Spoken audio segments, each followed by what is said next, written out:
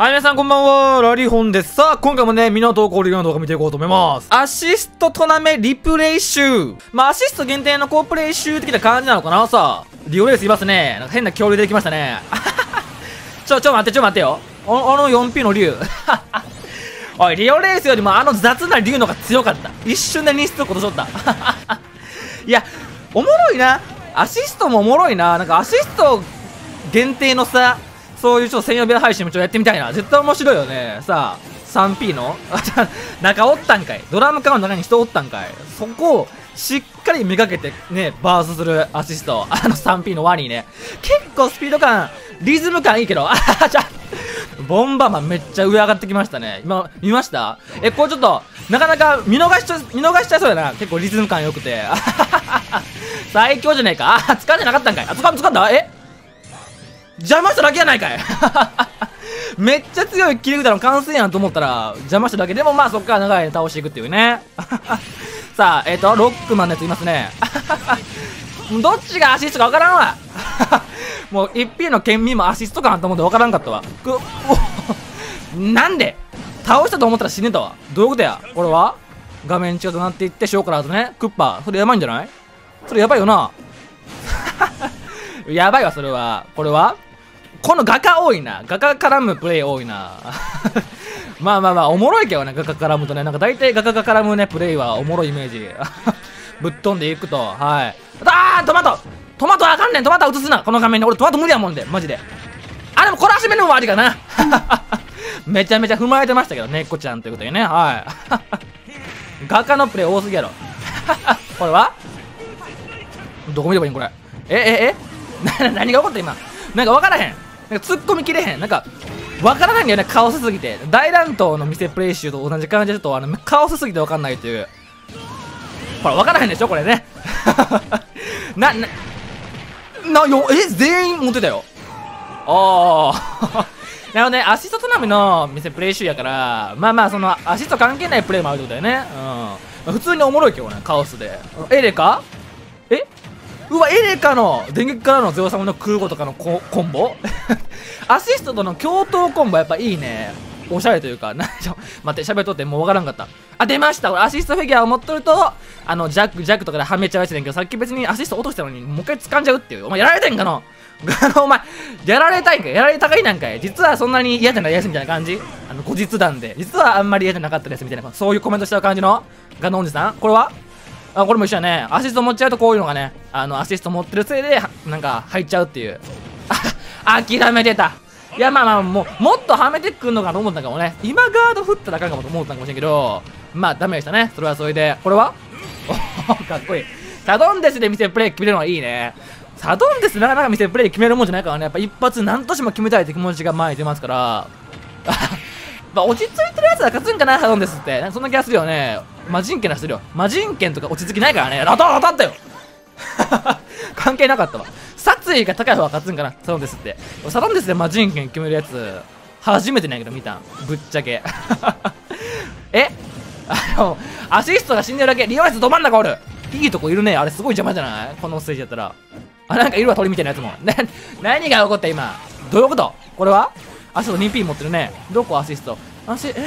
もう、もうごめんみんな。みんなならわかるよね。みんな、みんなら何がすごいプレイなんかわかるよね。俺はちょっとついていけないです、これ。これは？あ、あ、あ 4P のやつぶっ飛んでたけど、どこ見ればいいこれ？4P がめちゃめちゃ当てられてる これはどこだ？アシスト。3P どっか？アシストボコボコにちょっと生えてる、もしかして。アシストヒットストップアイムみたいな感じでね、決まったけどね。はい。ええー、あいつに顔あったん？あの、蚊取りの叩くやつみたいなやつに、あいつに顔あったんや。初めて見たんやけど、あん、あんな顔あったんや。てか、なになに、もうアシストバーストが流行ってる。アシストをバーストするのが流行ってる。これもしかして。これは ?2P ですね、アシスト。あたかも弱が強かった感あるけど、ちゃうからね、今の。弱関係なしやから、アシストありき。ああいつやられるも多くない？あの、顔叩くやつ。あいつやられるも多くない？お、かっこいいエレカタンエレカちゃん俺の小学校の時のあだ名はエレカさん。え？いいな、面白いな。おー、じゃあね、もう一回見て、今の。え、何このほど、ほのぼの写真？肩幅、広すぎやろが。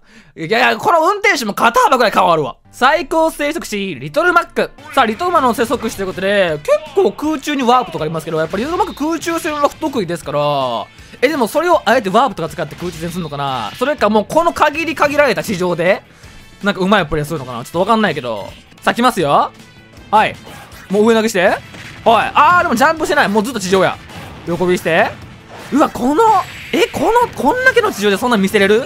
うわ、アピールカウンターさあえ？かっこよすぎやろ、それ。え？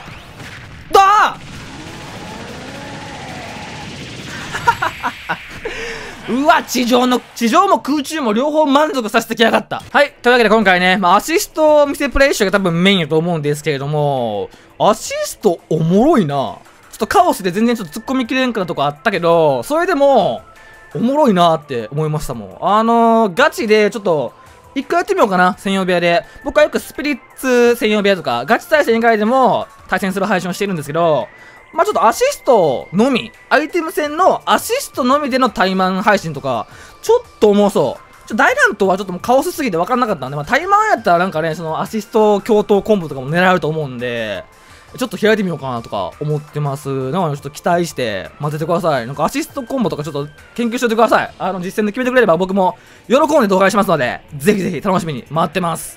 はいどうもー、尺稼ぎ TV です。えっと、スタバで飲んできました。この画像のやつじゃなくて、普通の桜ストロベリーシャートのフラペチーノっていうちょっと前の尺稼ぎ TV で、美味しいですかって聞いたやつなんですけど、もう飲んできました。結論。もうクソうまですね、クソうま。めっちゃめちゃうまかった。で、白玉の画像あるじゃん。まあ、これは飲んだやつと違うんやけど、白玉、なんかね、丸いのが思いっきり入っとるっていうよりは、なんか、つぶつぶの、なんかタピオカみたいな感じのね、味は白玉なんやけど、タピオカみたいな感じのやつが入っとって、まあまあ飲みやすかったですね。で、あの、全然知らなかったんやけど、これ、八つ橋がね、八つ橋の皮、みんなわかる八つ橋ってなんか、餃子の皮みたいなやつにあんこ入ったみたいなやつなんやけど、それの皮だけが上に乗ってて、俺八つ橋の皮が好きなんで、もう最高にうまかったね。で、これもう画像はね、桜カシスストロベリーシャートバフラペチーノってことで、カシスで、ね、俺の胃袋どうなっちゃうのってぐらい。だって、ねえあの、飲みに行ったらこれもあったんですよ。カシスどうしますか？カシスどうしますかってどういうことだと思って。